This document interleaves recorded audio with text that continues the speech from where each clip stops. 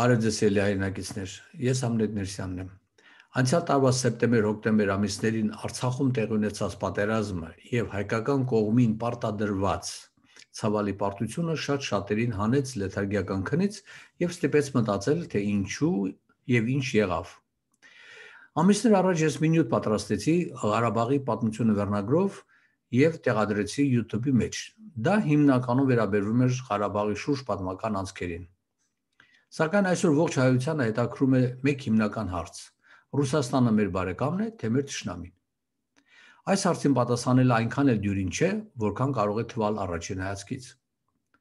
Այն, որ Օսմանյան կայսրության սուլթանները, երիտուրքերը եւ այսօվա Թուրքիայի ղեկավարները մեր ճշնամիներն են,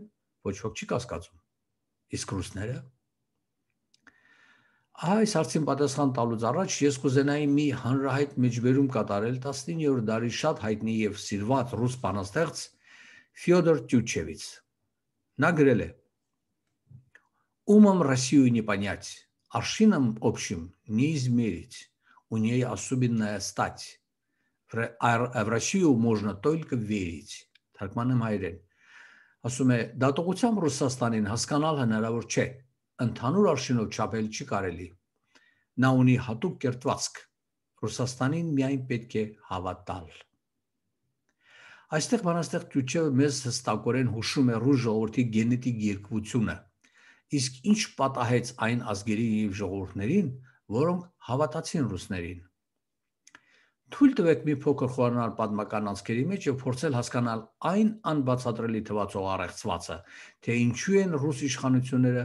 անկախ իրենց գույնից եւ քաղաքական նպատակներից միշտ ընկերական բարեկամական հարաբերությունների մեջ մնացել 19-րդ դարում Օսմանյան կայսրության սուլտանների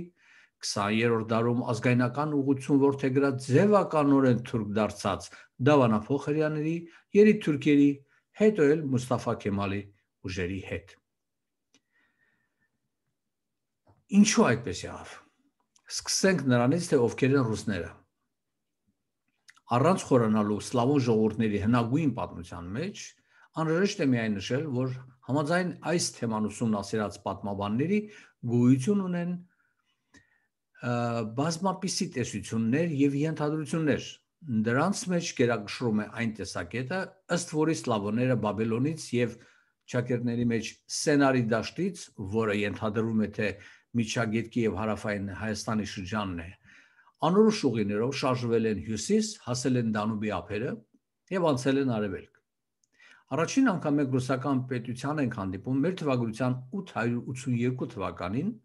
երբ Նովգորոդի տիրակալ Վայկինգ Օլեգը գրավեց Կիև բնակավայրը եւ հիմնադրեց Կիևյան Ռուսիան։ Շուտով նա միավորեց շատ սլավոն եւ ֆիննաուգորական ցակումով ցեղերի։ Մեր թվակության մեր թվակության ներողություն 980 թվականին գահ է բարձրանում Վլադիմիր առաջինը, որը իր պետությունը հայտարարում է ամբողջովին սլավոնական։ Նա փորձում է առևտրական կապեր հաստատել Կոստանդնուպոլսի հետ։ 8 տարի անց 988 թվականին Վլադիմիրը եւ բյուզանդական կայսեր հայտնի Վասիլ Բարսեղ II-ը հասնում են մի շատ հետաքրքիր համաձայնության Այս Վասիլ II-ը իր հայազգի քրոջը Աննային կնության է տալիս Վլադիմիրին, իսկ սա էլ համաձայնեցնում է քրիստոնե համաձայնվում է քրիստոնեություն ընդունել որպես Կիևյան Ռուսիայի պետական կրոն եւ զորքով օգնել Վասիլին իր պատերազմների մեջ։ Ստանալով օգնական հավելյալ զորքը Վասիլ II-ը համառ կռիվներ մղեց իրենից հյուսիս գտնվող բուլղարների դեմ եւ վերջնականապես նրանց հաղթեց 1018 թվականին։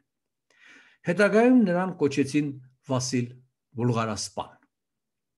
Տեսնենք թե ինչ էր տեղի ունենում Բագրատունյաց Հայաստանում։ Բուլղարներին հաղթելուց հետո այս Վասիլ Բարսեղ II-ը կեղծ կտակներով գրավեց Բագրատունյաց իշխաններին պատկանող հսկայական հայկական տարածքներ։ 1021 թվականին Վասպուրականի թակավոր Սենի Քերիմ III արծրունին իր թակավորությունը կտակեց, ճագերների մեջ կտակեց Վասիլին, Նույն տարում Վասիլը եկավ Տրապիզոն եւ այնտեղ հանդիպելով Պետրոս Գետատարց կաթողիկոսին նրանից ստացավ հայոց Հովանես Սմբատ թագավորի կեղծ նորի ճակերների մեջ կտակը, որով նա իր որ իբր Բագրատունյաց թագավորությունը կտակում կտակում էր Բյուզանդիոնին Ի վերջո Պետրոս Գետադարց կաթողիկոսի դավաճանության արդյունքում թակավորությունը կործանվեց բյուզանդական կոչող կայսրերը հույները գրավեցին անին, անեցիները արտագաղթեցին եւ բացվեց սելջուկների ճանապարհը դեպի Հայաստան։ Ճիշտ նույն բանը այսօր փորձում են անել Ռուսաստանի տերերը Հայաստանի հետ։ Տեղափոխվենք Կիևյան Ռուսիա։ 1200 ական թվականների սկզբներից այսօրվա Ռուսաստանի հարավ-արևելյան շրջաններից դեղին ռասային պատկանող մոնղոլական ցակում ունեցող թափառաշրջիկ ցեղախմբերը միացան եւ շարժվեցին դեպի արևմուտք։ 1238 թվականին Չինգիզ խանի զորքերը հասան թե Հայաստան եւ թե Կիևյան Ռուսիա։ 1248 թվականին նրանք գրավեցին Կիևը, սկսեց նրանց 240 տարի տևած տիրապետությունը ոսկե հորդա անունով։ 12-րդ դարի կեսերից հիշատակվող ճակերների մեջ Մոսկվա կոչվող փոքրիկ գյուղաքաղաքը դարձավ մոնղոլների մայրաքաղաքը։ Նրանք մի փայտաշեն Փարիզ կառուցեցին այս գյուղի շուրջը եւ այն անվանեցին Կրեմլ իրաց լեզվով։ Հետաքրքիրն այն է, որ այստեղի իշխանները իրենց հարկերը վճարում էին ոսկե հորդայի կուսակալներ հանդիսացող Ղրիմի թաթարներին։ Ուրեմն սրանց ղեկավարները եւ ավելի մեծ ամեծ պաշտոնյաները թաթարների նստում էին Ղրիմում իսկ արևելյան Վլադիմիր Սուզդալի եւ Նովգորոդի շրջանները խառնվեցին մողոլների հետ 1480 թվականին ռուսները չնայած հաղթեցին մողոլներին, սակայն նրանք մնացին, խառնվեցին ռուսների հետ եւ բազմացան։ Հաջորդ 200 տարիների ընթացքում կենտրոնական Ռուսաստանի մոսկովիտ ցարերը պատերազմների մեջ էին արևելքում եւ հարավում թաթարների հետ հյուսիսում շվեդների եւ լիտվացիների հետ, իսկ արևմուտքում լեհերի հետ։ Ի վերջո 1613 թվականի փետրվարին ռուս բոյարները ուղափառ եկեղեցու պատրիարք Ֆիլարետի որդի Միխայիլ Ռոմանովին նստեցրին ռուսական գահին եւ սկսվեց Ռոմանովների արկայատողմը։ Ընդամենը 100 տարի անց 1721 թվականին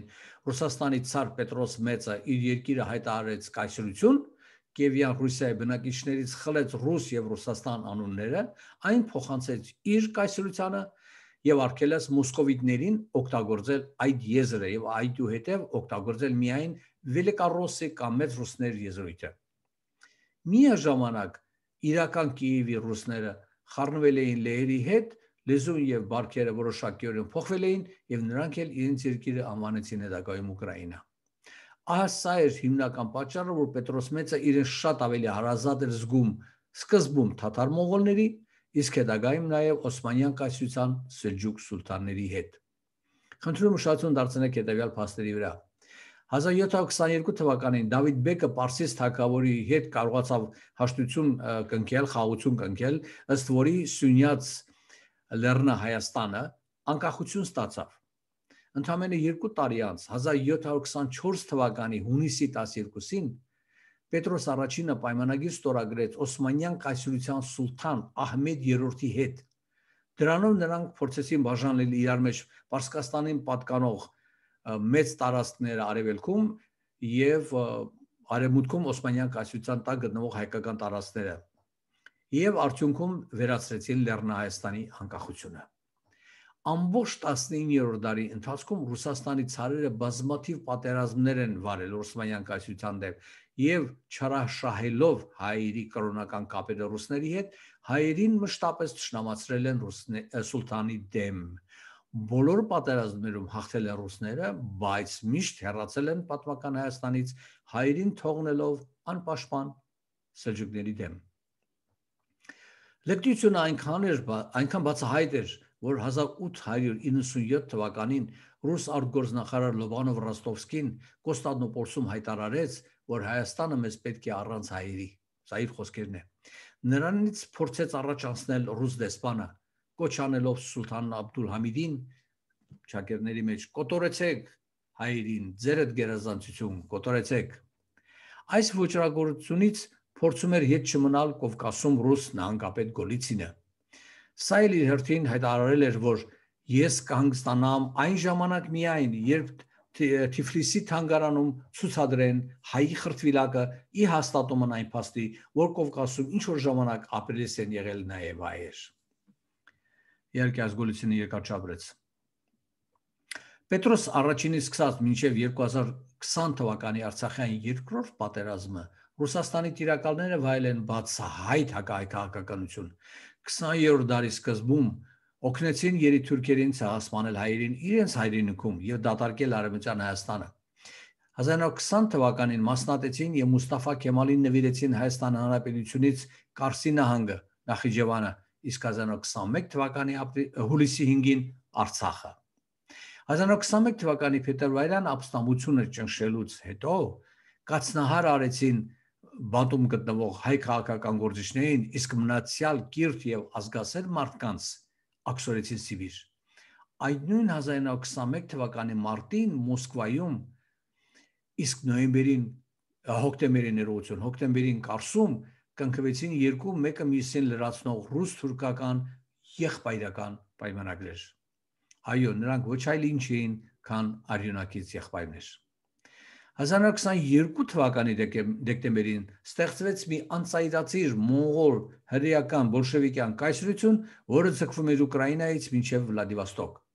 Ամիսներ անց 1923 թվականի նոյեմբերի 29-ին քեմալականները հայտարարեցին իրենց հանրապետության այսպես կոչված Թուրքիայի ծնունդը։ Այստեղ պետք է նշել, որ այսօրվա Ռուսաստանի Դաշնությունը իր մեջ ընդգրկում է 21 թաթարամողոլական ցակում ունեցող հանրապետություններ, որոնց բնակչության զգալի մասը մահմեդական է։ Երկրորդ համաշխարհային պատերազմի տարիներին հայերը միայն խորթային բանակին տվել են 83 գեներալ, 107 խորթային միության հերոս, 1 կրկնակի հերոս, 3 մարշալ, 1 ծովակալ եւ 300.000 զոհ։ Ի պատասխան այս ամենին պատերազմից հետո Ստալինը մոտ 100.000 հայերի աքսորեց Սիբիր։ Արցախյան առաջին պատերազմում հայերը ռուս եւ ազերի միացյալ բանակի դեմ տվեցին մոտ 9000 զոհ եւ հաղթեցին։ Այս երկրորդ Արցախյան պատերազմում հայերի դեմ կռվեցին ռուս, ազերի, թաթարները, թուրք, սելջուկները եւ զենքով օգնեցին Խազար հрьяաները եւ Պակիստանը։ Նրանք շատ լավ գիտակցում էին, որ հայերի դեմ ազերիները միայնակ չեն կարող կռվել եւ կպարտվեն։ Մեր ճշնամիները դա հասկանալով համախմբվեցին կռիվը անհավասար էր։ Այո բարեկամներ, այս անգամ են ինչպես 100 տարի առաջ մեզ պարտություն պարտադրեցին։ Մի հպանցիկ հայացք անգամ նետելով մեր տարածաշրջանի քարտեզին, տեսնում ենք, որ Հայաստանը մշտապես շրջապատված է եղել բազմապիսի, բազմերանգ եւ բազմակրոն ճշնամիներով եւ անհավասար պատերազմներ է մղել իր ժողովրդի եւ իր տեսակի փրկության համար։ Սակայն վերջին 200 տարիների ընթացքում հայ ժողովուրդը հայտնվել է մի հրեշավոր ծուղակի մեջ, արևելքից եւ հյուսիսից մոնղոլ, խազար, հրեա, բոլշևիկ ռուսախոսների, իսկ արևմուտքից սելջուկ եւ թրքախոս հրեաների միջև։ Որն է ելքը։ Մտել են 21-րդ դար, որը խոստանում է մտքի եւ գիտության թռիչքաձև զարգացում։ Ինչպես կարող ենք դուրս գալ մեր շուրջը ստեղծված հրեշավոր ջրապտույտից։ Իմ առաջարկը մեկն է։ Ազգի ամբողջ ներուժն ու հնարավորությունները կենտրոնացնել գիտության թրիչքաձև զարգացման վրա, ստեղծել զենքի գերարդիական տեսակներ, որը մենք դառնում ենք օտարների համար, եւ որ ամենակարևորն է, ստեղծել բարեկամ պետությունների մի սեղմ շղթա, որոնք գենետիկ եւ մշակութային սերտ կապերի մեջ են մեզ հետ։ Սկսենք մեր ամենամոտ հարավային հարևանից եւ անցնենք դեպի Եվրոպա։ Բարի ճանապարհ։